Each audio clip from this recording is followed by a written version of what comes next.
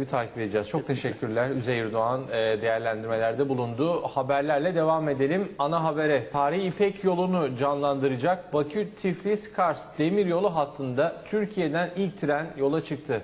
Mersin Yenice'den çıkan tren Gürcistan Azerbaycan üzerinden 7 gün sonra Türkmenistan'a ulaşacak. Tarihi İpek yolunu canlandıracak Bakü-Tiflis-Kars demiryolu hattıyla Türkiye'den Azerbaycan'a girecek ilk tren Mersin'in Tarsus ilçesinden yola çıktı. 16 vagonda 32 konteyner içerisinde 650 ton tarımsal ürün ve inşaat malzemesi taşıyacak olan tren toplam 2100 kilometre yol kat edecek. Trenin Bakü'ye toplam 4 günde ulaşması bekleniyor.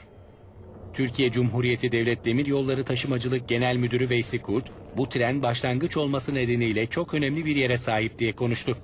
100 saatte Türkmen başına, Türkmenistan'a ulaşmayı hedefliyoruz ve 180 saatte Kazakistan'a, Astana'ya, e, Aktöbe'ye ve Kökşetau'ya ulaşmayı hedefliyoruz. Arkas Holding Lojistik Grup Başkanı Dayan Arkas, bölge ülkelerle ticaretin artacağını vurguladı. Ee, Kazakistan, e, Azerbaycan e, ilk etapta bu ülkelerin e, ticaretinin bizimle artacağını düşünüyorum.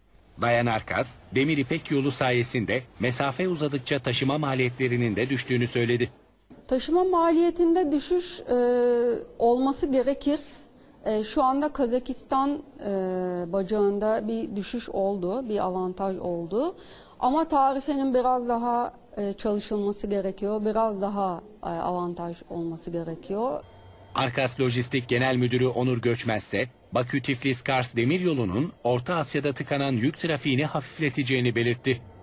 Orta Asya'da tıkanan yük trafiğinin bu şekilde Türkiye ve Orta Asya arasında e, gelirken tahıl ürünlerinin ve petrokimya ürünlerinin gelmesi, giderken de hazır gıda malzemelerinin gitmesi ve inşaat malzemelerinin gitmesi konusunda çok ciddi bir hacime ulaşacağız.